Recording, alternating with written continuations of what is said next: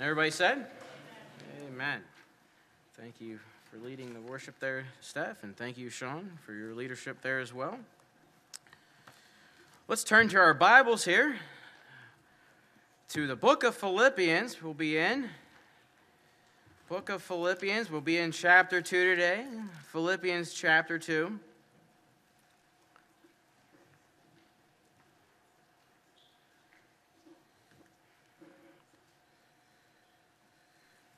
Philippians chapter 2.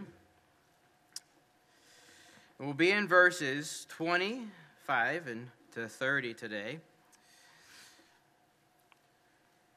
And the title for today is An Answer to Prayer. That is our the theme for today. Answer to prayer. You're going to see an answer to prayer as we read these, pass- these passages uh, today.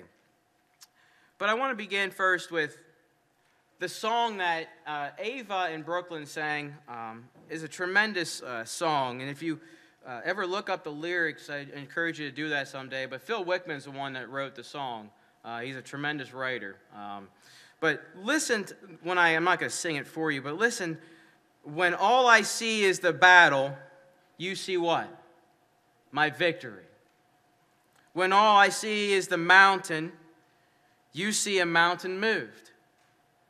And as I walk through the shadow, your love surrounds me. There's nothing to fear now, for I am safe with you. So when I fight, I fight on my knees with my hands lifted high. O oh God, the battle belongs to you, and every fear I lay at your feet. I'll sing through the night, O oh God, the battle belongs to you. And it's a tremendous song that they sang, and it's actually one of my favorites. And if I were to be truthful, this was actually a song that brought uh, a lot of peace to me uh, when it came on the radio one time, whenever I was going through a battle, I guess you could say, or a storm uh, in this life. And uh, you see, a year and a half ago, from today almost, um, Family got ready. The day started off pretty good, actually. Family got ready for church, got dressed, went off, had a good drive. Nobody was screaming in the car. It was great. Went to church, and then we were blessed that day to be voted in as pastor of the Altoona Bible Church. It was a tremendous uh, privilege and still a tremendous privilege today to serve our, our God here. But during that day, and started off, Liz didn't really feel the best, and we honestly just kind of thought it was just a small little bug, you know, just something to kind of work through. As the day progressed, uh, and even afterwards, uh, she continued to get worse, and so bad that night that we actually had to make a trip to the ER. And what I thought was somewhat minor, something very small, uh, possibly maybe like a, the flu and just need to get hydrated or, or whatever, just a bug end up being a life threatening mystery to the doctors and nurses. Life threatening. And to make a long story short, the storm hit hard to me, hit really hard to me when I walked into the hospital trying to figure out what's going on, right? The nurse stopped me in the hallway, brings me over to the screens here, and they had screens up there, and it's all the heart rates of all the patients and things. And she said, You see your wife's, that's her screen right there. I said, Yeah. And she said, Her heart rate is out of control. It's so high right now, we're not sure what we're going to do. She's not getting any better. We're not sure what we're going to do. And, we're, and, and I said, Well, we're going to have to transfer her because she's not going to die here. We're not trying, no, no, no, we're going to do something, right?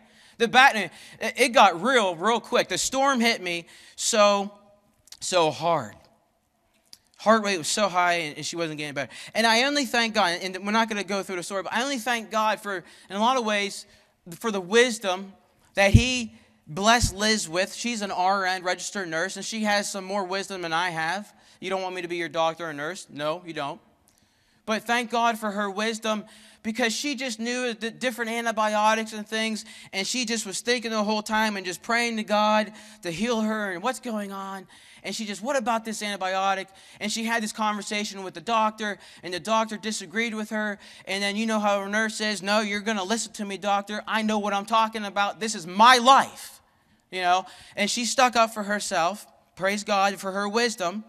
And, and honestly, I praise God because He was able to heal her body, and obviously, through modern technology with medicine today, helped with that, but with that wisdom. And obviously, uh, everybody here was praying as well in that time. And all of my family members were praying, and people in Wisconsin were praying for her too. We had no idea what was going on. But all I know is that in a blink of my eye, what a day that we thought was going to be a rejoicing day, hey, we're here now too, and just got blessed to be here at a church, it just got real. It didn't really matter anymore to me where I was. All that mattered was what's going on with Liz. And so either way, God, God healed her, and obviously you guys see her today. She's not here today because Nolan's sick, by the way. Um, but the idea here is that there, it was an answered prayer. It was an answered prayer because I was we were praying, and everybody. I thank everybody here who was praying for her at that time. And today, this passage today kind of brought back this memory of mine. It, it brought back this year and a half ago. It, I mean, it's a different case, but we have here an answered prayer. And prayers were going out for this Epaphroditus individual. And but the idea here is, but before, but before we talk about the reason for the prayers and, and talk about the answered prayer, we're going to talk about who is this Epaphroditus guy first, right? So let's read it here together. Philippians uh, verse 25, uh, yeah, verse, chapter 2, verse 25. It says here, Yet I supposed it necessary to send to you Epaphroditus, my brother and companion in labor and fellow soldier, but your messenger, and he that ministered to my wants. For he longed after you all, full of heaviness. He was full of heaviness, because that you heard that he had been sick. For indeed he was sick nigh unto death, but God had mercy on him, and not on him only, but on me also, lest I should have sorrow upon sorrow. I sent him therefore the more carefully, that when ye see him again ye may rejoice, and that I may be less the less sorrowful. Receive him therefore in the Lord with all gladness, and hold such in reputation, because for the work of Christ he was nigh unto death, not regarding his life, to supply your lack of service toward me. And before we get going with the prayer, prayer requests and, and, and, and obviously the purpose of why he was sick, we're going to talk about who, who is this uh, Epaphroditus individual? Who, who is this individual? Well, we know right away in verse 25, he goes, I'm going to send this Epaphroditus individual guy back to you guys. He was Paul's brother in the Lord. He says that, my brother. This he is my brother. You know, the scripture continually uses the analogy of family when describing our relationship with fellow believers. Do you know that you and I, if you accepted Christ as your personal Savior, that you're part of the body of Christ? Christ is the head of the body, right? And God is your Father, and you're a child of God. And if I'm a child of God and you're a child of God, that makes us what? Related somehow, right? Spiritually speaking. That's the best relation you can have for all eternity. You're a child of God. Galatians 3:26 tells us, "For ye are all the children of God by what? Faith in Christ Jesus." It's only by faith that you can become a child of God, believing in what he did for you on that cross, that through his death, burial, and resurrection, you got forgiveness of sins and eternal life. It's by, by faith alone, nothing that you and I can do. No, no money can save you, nothing at all. God says, here's a gift, you accept it. And so this individual, Paul calls him a brother. We can learn from that because sometimes we just talk to each other like, hey, you. But you can say, hey, sister, what's up? right? Does that seem weird to you? But you know, Paul is the example for us. Well, you can call each other brother and sisters in Christ. That's what we are. You're a brother and sister in Christ. To love each other. This, this passion towards him. My brother, he says. God, continually, you see through Scripture that there is an analogy of family when describing our relationship with the fellow believers. This individual, Epaphroditus, as well, he was a man who helped Paul carry out Paul's mission. Okay? Paul's mission. And again, which was God's mission and calling for Paul. Go to the book of Acts here, real quick, to your left. The book of Acts. It's before Romans. Acts, verse chapter 26. God's mission and calling for Paul. And Epaphroditus, Epaphroditus was a part of that mission. He helped Paul carry it out. He says, My brother and companion in labor. He was an individual who helped Paul in the ministry. So let's read it together. Acts 26, verse again 14 he's given his account from acts 9 on the road to damascus. But he says and when we were all fallen to the earth i heard a voice speaking unto me acts 26 14 and saying in the hebrew tongue saul saul why persecutest thou me? It is hard for thee to kick against the pricks and i said who art thou lord? And he said i am jesus whom thou persecutest. But rise and stand upon thy feet, for I have appeared unto to thee for this purpose. What is this purpose? To make thee a minister and a witness both of these things which thou hast seen, and of those things in which in the which I will appear unto thee, delivering thee from the people and from the Gentiles unto whom now I send thee, to open their eyes and to turn them from darkness to light and, and from the power of Satan unto God, that they may receive forgiveness of sins and inheritance among them which are sanctified by faith that is in who? In me, in the Lord Jesus Christ. He says, But rise and stand upon thy feet. Isn't that something that we can learn upon when you get knocked down? Rise and stand upon thy feet. And see, the Epaphroditus helped the Apostle Paul in his ministry. He says here in Philippians 2 that he was a companion in labor. He worked alongside Paul in getting out the message of the gospel of the grace of God. And when I mean he worked alongside the Apostle Paul, is that when we read the book of Ephesians, Philippians, Colossians, and Philemon, they are prison epistles. The Apostle Paul was in house arrest. He's this, he was sitting in his own hired house. Acts 28 30 says, And Paul dwelt two whole years in his own hired house and received all that came in unto him. Epaphroditus came in unto who? The Apostle Paul. But the Apostle Paul can't leave his house. But the gospel of the grace of God is going where? It's going out. It's going further. How's that happening? Because Paul's got faithful individuals helping him out, friends. Epaphroditus is one of them. He's a companion in labor. And he helped him, he went alongside him. He learned from the Apostle Paul. And he got the message of grace. He's, he's getting the gospel of the grace of God out, working alongside him. And again, he's allowed going in, you know, going to and for, you know, leaving Paul and coming back. But again, Paul couldn't go. So again, God's using Epaphroditus here, a tremendous individual. Paul says a companion in labor. He's a brother in the Lord. He's also, Paul describes him as here also, and fellow soldier. Look at that in Philippians 2.25. He's a brother, a companion in labor, and then he defines it even more, a fellow soldier. He became a fellow soldier. And again, the soldier, if it, we're in a spiritual warfare, and this spiritual warfare is faced by all who? All believers. All believers are in this spiritual warfare. Look right across from your chapter 2 to go to chapter 3. And look at this spiritual warfare that he even warns the, the, the Philippi church here. He warns these individuals. He says, Beware of dogs, beware of evil workers, beware of the concision.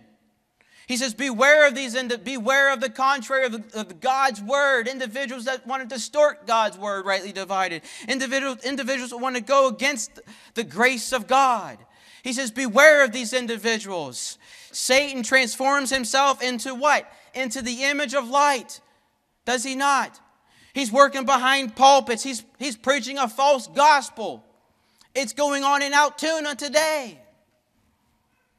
The gospel's clear. It's very clear. Christ died on the cross for your sins. He was buried and he rose again. You believe in that. You can have forgiveness of sins and eternal life. It's only by God's grace alone that we can be saved, right? And it's only by faith.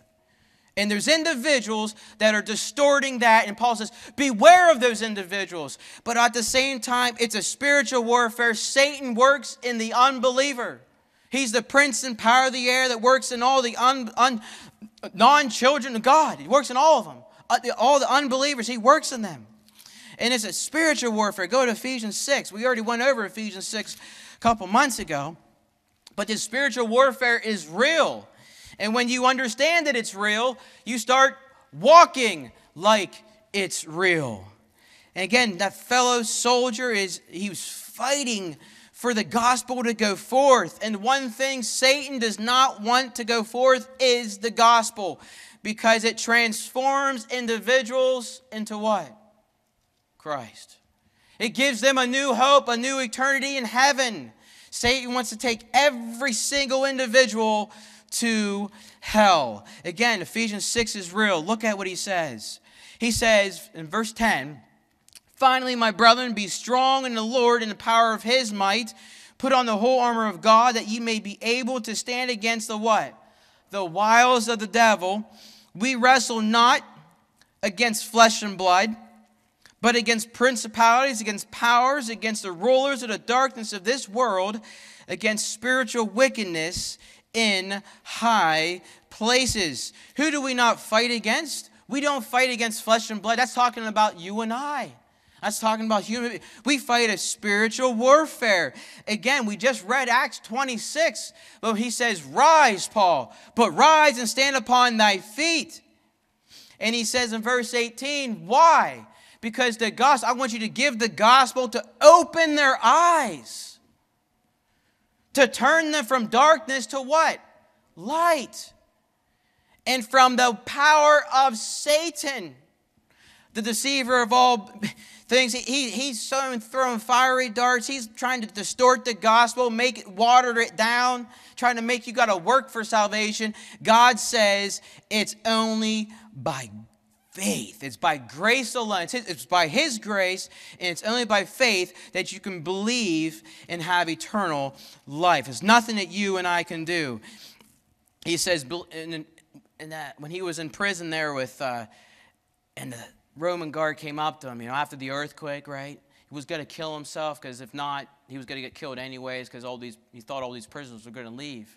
And the guy, you know, he here he hears them singing, and the prisoner, the, the Roman guard says, "What shall I do? What what do I have to do to be saved? Believe on the Lord Jesus Christ, and what? Thou shalt be saved." It's believe in the Lord Jesus Christ. And listen, you and I are fellow soldiers, and we are to carry the gospel forth. We are to proclaim we are to preach the gospel. We are ambassadors for Christ. This is not our home. We have a heavenly hope, a heavenly home. And that's our focus to keep our uh, minds looking up. And so we go back to Philippians here. Philippians 2, he says, He is Epaphroditus here. He's my brother. He's a companion in labor, and he's a fellow soldier. He's fighting alongside me. And when he says fellow soldier, you see in this epistle here in Philippians, in the book of Philippians, I guarantee we, Paul's in prison. He's helping him out, getting the gospel, the grace of God out. I guarantee Epaphroditus, alongside Paul, I guarantee he led many individuals, many individuals, even probably some Roman guards, servants, even cooks in Caesar's household to the Lord. How do I know that? Go to Philippians 4, chapter, chapter 4, verse 22 when he ends this epistle and he writes off, you know, signs it, he says this, which is interesting to me, which tells me something that the gospel went forth. Philippians 4, verse 22. He says, All the saints salute you, chiefly they that are of what? Are of, a house, of Caesar's household. Many individuals got saved. Alongside Paul, he led individuals to the Lord. He was in this battle. Okay? He was in the battle. Again, Romans 1:16, I am not ashamed of what? Of the gospel of Christ. It is the power of God unto what? Salvation. He was not ashamed. He was fighting alongside Paul. Paul says he is a fellow soldier. So this individual, he's a fellow soldier. But interesting, he was he was also a man who ministered to Paul's wants or needs. Look what verse 25 says. After fellow soldier, he says, But your messenger, and he that ministered to my wants. He was an individual who was, who was an encourager. He became an encouragement by to Paul's needs. He gave up his own life, his own desires to help the apostle Paul. You see, you have an individual here, Epaphroditus, who left where all the Philippi saints are at. He's their messenger, left his home to go minister to Paul. And he gave them, again, the Philippi church financially supported the Apostle Paul, did he not? And Epaphroditus was the one who hand delivered that to the Apostle Paul. Philippians 4, verse 18. Go there. He says, But I have all and abound. I am full, having received of Epaphroditus the things which were sent from you, an odor, a sweet smell, a sacrifice acceptable, well pleasing to God.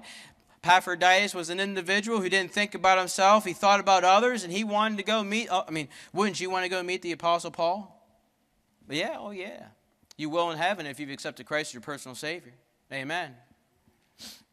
But again, he, he, he left his homeland, forgot about his own desires to help the Apostle Paul. He was the man who stepped up and said, That's right, I'm going to take this financial gift and I'm going to hand deliver it to him. Again, we don't have today's modern technology where you can get on your phone and send money to each other. I'm still not good at that, by the way. I feel weird about that. But we don't have modern technology either where we have cars. They didn't have cars then either. Okay? Guarantee he probably took a boat. Because where was Paul? In Rome. Right? So either way, he traveled. He traveled to see the Apostle Paul, to deliver this love gift that was sent by the Philippian believers. And again, he became the encouragement Paul needed at this time. He's sitting in prison and he needed some encouragement. Epaphroditus gave him some encouragement. He was a man who cared about advancing the gospel of the grace of God more than his own life. Look what he says here in verse 26, 27. For he longed after you all and was full of heaviness because that he had heard that he had been sick. For indeed he was sick nigh unto what? Death. Uh, to the point of death okay to the point of death. He was he was about advancing the gospel of the grace of god. Paul how do you know that you say? Paul says he's a brother in the lord he's a companion in labor and he's a fellow soldier. He's getting the gospel out to the point where he doesn't even care about his own life to the point of death. We aren't told how or what caused his sickness but we see that he was sick obviously to the point of death. And even during this sickness, during his sickness, he was more worried about the Philippian saints. He didn't want them to worry about him at all. He, he tells them, he, he longed, Paul tells the Philippian church, the saints, about Epaphroditus, he longs for you all. He was full of heaviness because that you heard that he was sick. He didn't want them to know that he was sick. Not because he didn't want to know their business. He didn't want them feeling bad for him either. He didn't want them to worry about him. He was thinking about others. Epaphroditus is a life example of what it is to have the mind of Christ. We have so little knowledge about him, so, so little verses about this individual, but, we, but what we see is a man sold out for Christ and a man wanting to be a blessing to others. He cared for Paul. He cared for the Philippian church, saints. But most importantly, he cared more about getting the gospel to the unreached. It nearly killed him. And guess what? He was a man like the apostle Paul. Philippians 1:21 Paul says, "For to me to what? Live is Christ and to die is gain." He had that mindset. He was a man just like Paul. The sickness of Epaphroditus it was a storm. It was a storm Paul and the Philippian saints were not, weren't expecting it. They weren't expecting it at all. It shattered them. Here's an individual that was there to help the Apostle Paul, and he was helping. He was getting the gospel, the grace of God. He's a brother, he's a companion in labor, he's a fellow soldier. And when he got sick, I guarantee you, it shook the Apostle Paul. It shook him. He wasn't expecting it. It shattered them, it broke them. But just when you think nothing can be done, the one saying I like to say is just let go and give it to God. Pray to the Almighty God. Pray to the Almighty God. That's what we're to do. We're to give it to God. We're to give it to God. Even though you don't you do not see the apostle Paul here stating he prayed or that the Philippian saints were praying, I believe it was a time where Paul was in much prayer for his dear friend. And I also believe that the Philippian saints were also praying for the brother in Christ. Remember, and uh, yeah, remember Paul said first of all, pray for who? All men. 1 Timothy 1 2 1 says, First of all, first of all, stop what you're doing, first of all, and what do you do? You pray. You pray. Galatians 6:10 talks about, especially of those of what? Household of faith. Ephesians 6:18 tells us we're to pray for who? All saints. And Philippians 4, 6 to 7 tells you that you're, you're to lay it on the line. Give it all to God. Read that in Philippians 4, 6. You're right there. He says, Be careful for nothing, but in everything by prayer and supplication with thanksgiving, let your request be made known unto God. We know from the Apostle Paul that prayer was important. It would have been his in their first response in action, and it should be ours as well in a time of need. We see in many places that prayer is important for all of us, and we are encouraged to pray. We are encouraged to pray. And let me just say this don't shortchange God. Do not shortchange God. Because look, verse.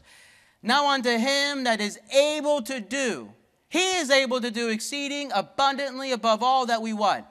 Ask or think, according to the power that worketh in us. He's able to do it.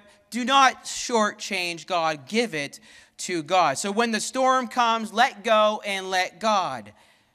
Give it to God and know that God does answer all prayers. It may not be the way you want it, but it's according to His perfect will. And a, and a promising verse to us all, all, all the saints here, is we know that all things, all things, not some things, all things work together for good to them that love God to them who are the called according to whose purpose? His purpose. See, God's got a mindset of eternal, He's got an eternal mindset. And if He can use your life or my life to get the gospel out, even to the point of death, Epaphroditus wasn't worried about his death because he was worried about the gospel, the grace of God to go forth. And if an individual got saved through his life, it was all worth it it was all worth it. That's why Paul says, For to me to live is Christ, and to what? Die is gain. Epaphroditus had that mindset. We're to have that mindset. God's going to work everything, all things together for good. He's going to work it for good. It's a truth for us all. But in this case alone, this the prayers were answered. And so when a prayer is answered, you give thanks, right? 1 Thessalonians 5:18 and everything give thanks for this is the will of God in Christ Jesus concerning you. We're to give thanks for an answered prayer. God healed Epaphroditus. He had mercy on him and also on Paul. Look at this in verse 27. For indeed Epaphroditus was sick unto death, but God had mercy on him, and not on him only, but on me also, lest I should have sorrow upon sorrow. Paul gives thanks and rejoices in the Lord. He rejoices and he gives thanks to the Lord. The Lord thought of him. He, uh, it probably would have tore Paul up even more. He's sitting in prison. He finally has an individual that's ministering to him, and he's also getting the gospel, the grace of God out. And all of a sudden, he gets healing the Epaphroditus. Man, that probably just cheered Paul up, didn't it? God had mercy on him, not in him only, but on Paul as well.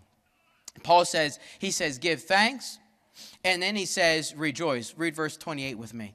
And I sent him therefore the more carefully, that when ye see him again, ye may rejoice, and that I may be le- the less sorrowful. Again, what you have here is the after Epaphroditus got he got healed up, God healed him up. He had mercy on him. He's, he's now no, no longer sick. Apostle Paul sends Epaphroditus where? back home.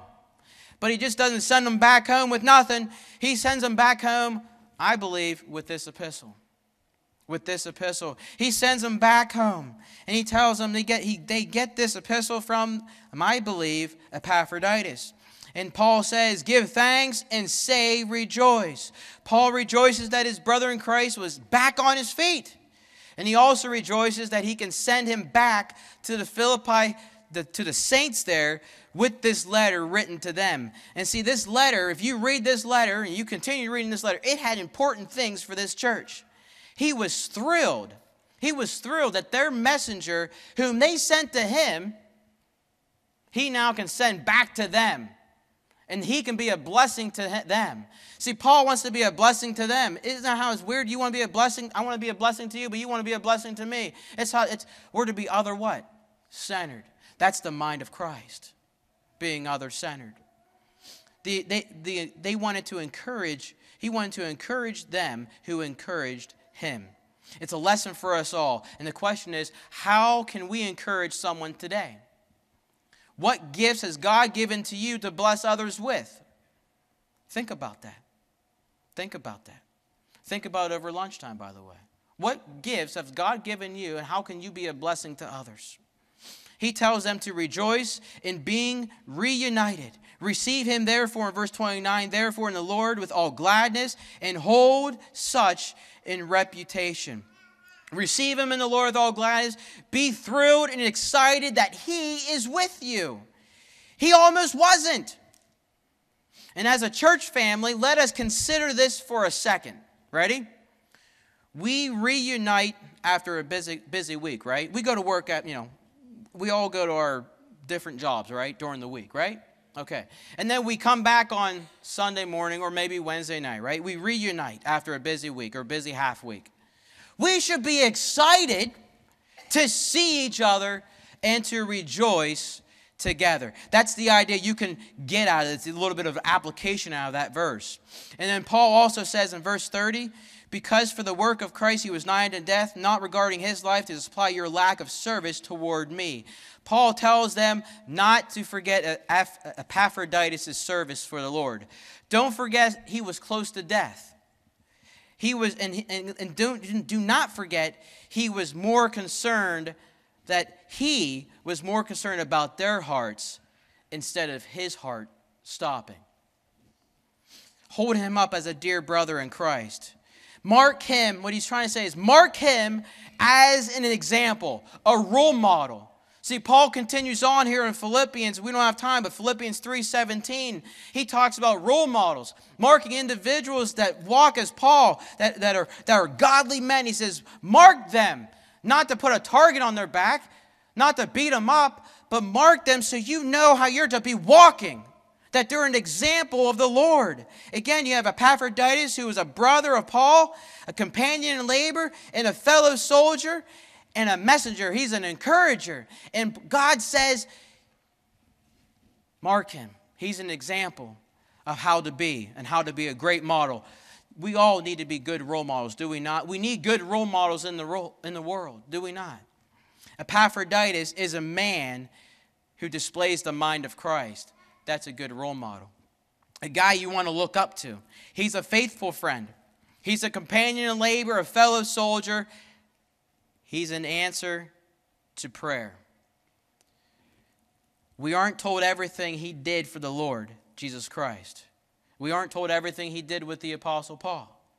But one day in eternity, we will see the impact of his ministry. See Philippians, yeah, 1 Thessalonians 4, 13 and 18, it talks about what? Our resurrection, where Lord Jesus Christ comes back in the air. We meet him in the air and forever we'll be with him in the air. But who are we going to be with? All of our brothers and sisters in Christ. All members of the body of Christ will gather together. We will reunite. One day, the Lord Jesus Christ is going to have a family reunion for the whole body. The question is, are you going? Do you know how to get there? And how you get there is this you believe that the Lord Jesus Christ died on the cross for your sins, that he was buried and he rose again. Believe in that, you shall have eternal life. Amen? Are you looking forward to that day? I sure am. Let's pray. Heavenly Father, we thank you for the life of Epaphroditus. We thank you for the Apostle Paul sharing it. We thank you that we can learn from it and grow from it. Help us to be prayer warriors, Father. Help us to pray for each other continuously. And Father, help us to be encouraging to each other as well. Help us to be soldiers, getting the gospel out to the, to the unreached. In Jesus' name, amen.